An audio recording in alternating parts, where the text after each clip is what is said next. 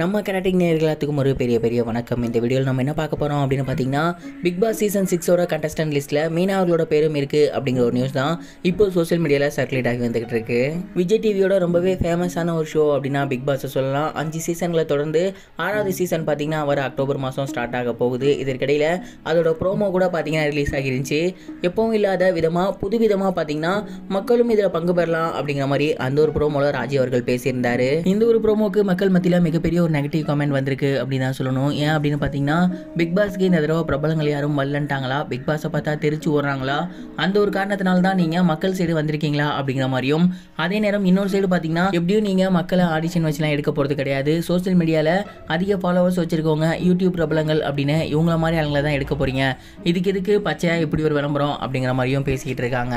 இதெல்லாம் பார்த்தாதுன்னு இன்னொரு தரப்பு பார்த்தீங்கன்னா எப்பயுமே ப்ரோமோ அப்படின்னா கமலஹாசன் அவர்கள் தானே ஃபர்ஸ்ட் வருவார்.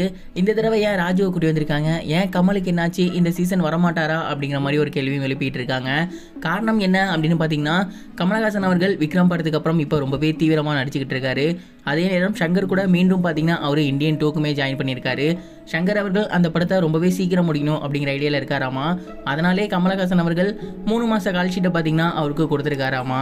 அந்த ஒரு காரணத்தினால தான் கமலஹாசன் அவர்கள் ப்ரோமோக்கு வரல அப்படின்னும். இது மட்டும் இல்லாமல் எப்பயுமே அக்டோபர் மாதம் ஆரம்பிக்கிற பிக் பாஸ் பார்த்தீங்கன்னா இந்த தடவை நவம்பர் மாதம் தான் ஸ்டார்ட் ஆக போகுது அப்படிங்கிற மாதிரியும் தகவல் வெளியாகியிருக்கு.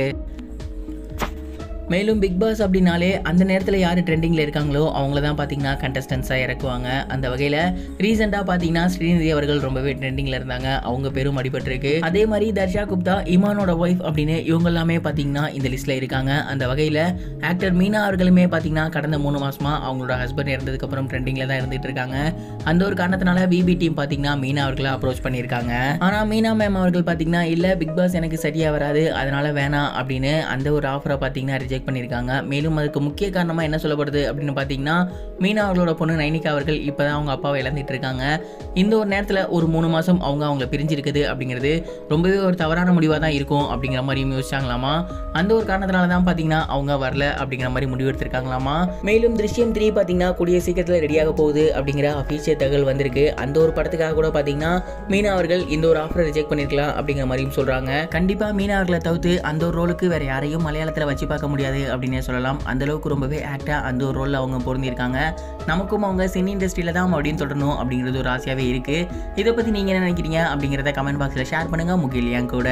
இது வரைக்கும் கனெக்டிங் டிவிக்கு சப்ஸ்கிரைப் பண்ணனா மறக்காமல் சப்ஸ்கிரைப் பண்ணிக்கங்க. உடனடி அப்டேட்ஸ் பெறுவதற்கு நோட்டிஃபிகேஷன் பெல்லையும் கிளிக் பண்ணிக்கோங்க.